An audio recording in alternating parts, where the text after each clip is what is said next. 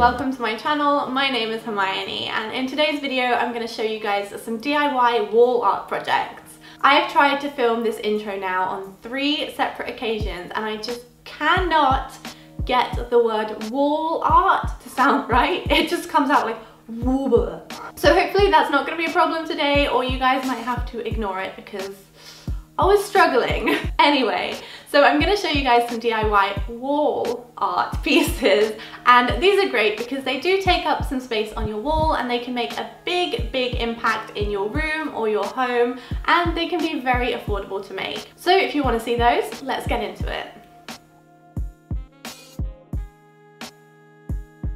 It's been a while since I've done an abstract painting, so I wanted to show you guys how I made these two that kind of match. If you want to try and recreate this, you'll need some canvases, paint, and multiple paintbrushes. You'll need one for every colour. For this project, I'm actually using a canvas from Poundland, so it's super cheap too, and I'm starting by using a foam brush, and in kind of a swirling motion, I'm using some very large strokes and applying my paint. I'm using lots of pinks and blues and making a variety of very similar colours so that they blend quite nicely, and once I got closer to the end, I used a lot more smaller strokes to blend some more colours into the areas where it's not very well blended. This next step is totally optional, but if you want to add a little bit of a metallic pop of colour, you can add some size, as I'm doing here with a very fine detailed brush, and then use some of this craft foil. It's kind of like um, gold leaf, but a silver version. So I'm just breaking that apart and applying it gently after the size had dried. I left the foil adhere to the size for a couple of minutes and then with a foam brush I gently got rid of the excess foil. And this is the final result. I ended up making two to kind of complement each other, but they're slightly different colours. I think this would also look really nice in different colours and using different motions as well. Next up, I want to show you guys how I made this mini macrame with rope. It's just a tiny one, but let's get into it. For this, you will need a dowel, some rope, and some scissors. Start by cutting long pieces of your rope and wrapping it around your dowel like so. So fold it in half, make a loop, pull it underneath and then pull the extra strings through. Hopefully you can see what I'm doing here. I actually ran out of rope so I had to use a few different sizes and alternate them but this would obviously look so much better with the same sized rope. Anyway, keep doing this until you have enough to fill your dowel up and then you should have something that looks a bit like this. Then you can go ahead and start knotting it. As you can see, I've done it on one side already. So this is how I did it. I just took one piece of rope, pulled it underneath the one to its right, and then pulled it very tightly and it made this kind of diagonal pattern. Just keep doing this and repeat it all the way until the center and then do the other side.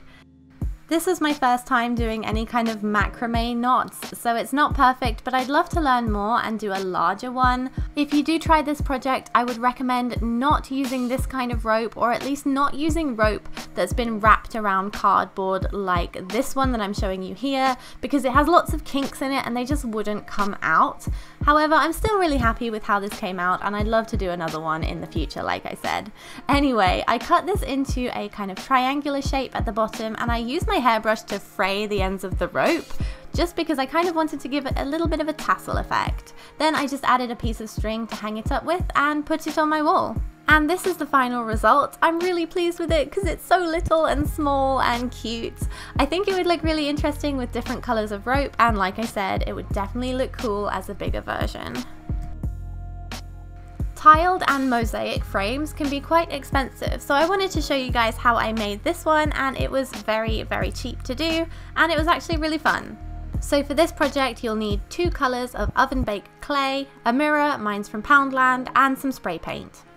If your mirror or photo frame needs painting, go ahead and do that now so it has time to dry. I'm priming mine and then spray painting it white.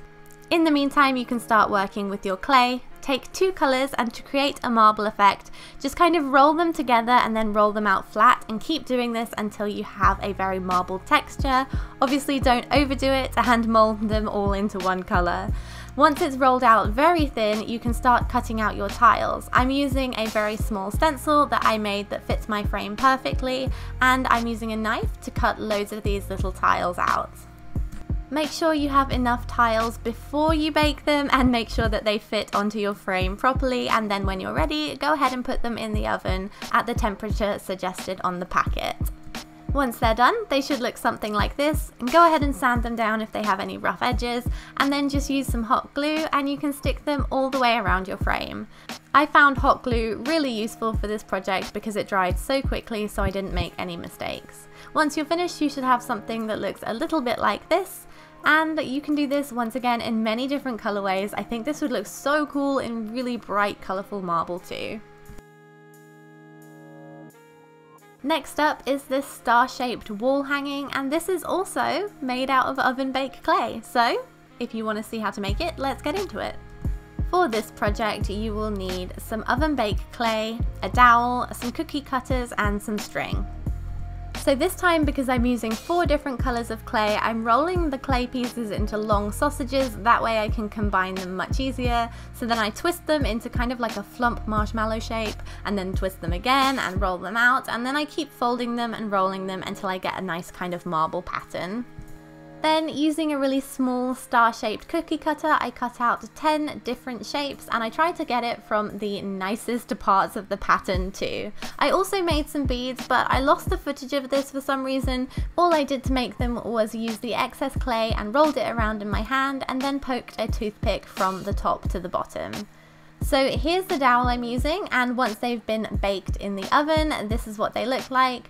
I strung a piece of elastic thread onto the beads and using some hot glue I secured that in place. And then with the stars, I used some hot glue again and a wooden stick to help flatten the glue down. When placing your stars on the string, make sure that each one is evenly spaced and that they're the same on every string. And then when you attach them to the dowel, you can have them at varying heights if you'd like and create kind of a pattern that way too.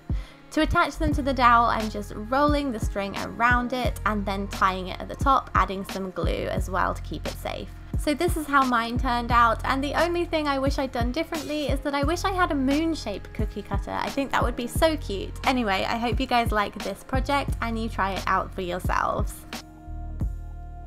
So that's it. That's everything I have to show you guys today. I hope you enjoyed it. Do let me know if you try and make any of these. I'd love to know about that. And yeah, I hope you guys have a great week and hopefully I'll see you in my next one. Bye!